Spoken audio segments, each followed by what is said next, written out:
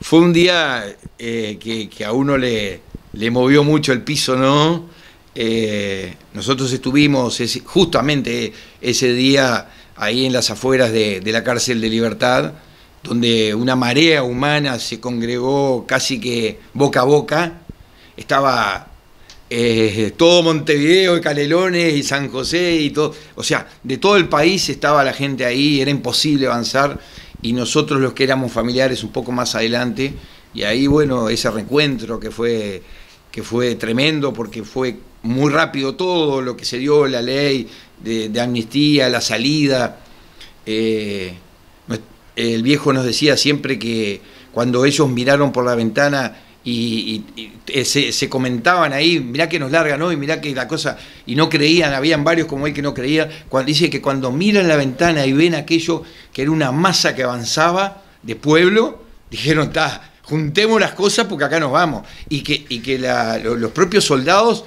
eh, se encerraban y los dejaron, o sea, salió, inclusive hasta los rehenes, los que quedaron unos días más, si hubieran querido salir en el corrupción salían, porque la cosa no, no, eh, estaba, abrieron las puertas de par en par y, salieron.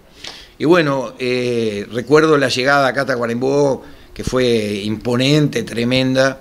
recuerdo también lo que fue eso en la salida,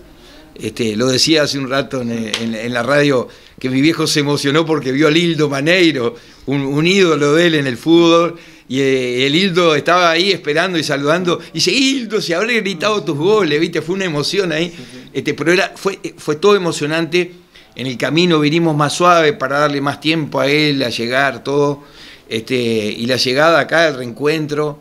este, fue, fue, fue tremendo, ¿no? Eh, eh, eh, emociones este, brutales de, poder reencontrarnos, de poder estar ahí y de ver el cariño que la gente volcó hacia ellos, ¿no? En ese caso, mi viejo, que era el último que venía de Tacuarembó, se volcó todo el pueblo. Y creo que ahí no había banderas de ningún tipo, más que nada era, bueno, recibir a un personaje de Tacuarembó nada más, un, humilde personaje de Tacuarembó que había estado 13 años de vacaciones, como decía él, este, eh, fuera de su casa. Nosotros lo, perdimos chicos, cuando él volvió ya éramos, yo ya estaba casado, ya tenía hijos, este, o sea, perdimos de, vivir con, con él toda esa, esa etapa, digamos, crucial que es la adolescencia este, mis hermanos más chicos también, todavía más chicos, este, pero eh, lo que hablábamos hace un ratito, él siempre fue un tipo sin rencores eh, y así se lo manifestó a todo el mundo cuando salió, cuando estuvo en la calle, cuando se reencontró con gente eh, que podía haber sido este, contraria a, los ideales que él tenía,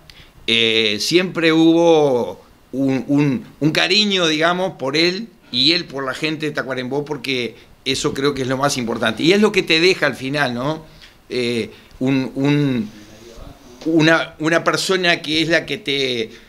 Tu, viejo, que es la que te marca de repente cómo, cómo debe ser en la vida, a nosotros nos dejó una, una línea muy, muy difícil de seguir en cuanto a lo que era él. ¿no? Te, te puso la vara muy alta. Eh, y uno eso lo, lo, valora porque anécdotas de gente que era eh, lo opuesto y, sin embargo lo respetaban, lo querían, lo, siempre lo, lo, defendieron, ¿no? Entonces, este, su vida fue eso, andar en la bicicleta por ahí, eh, salir, hacer 20 kilómetros en la bicicleta y sentarse en el primer eucaliptus que encontraba con sombra a escribir una letra para la sencillita. Este, disfrutar de estar en el liceo trabajando como administrativo porque la educación era su vocación. Este, y creo que es eso, ¿no?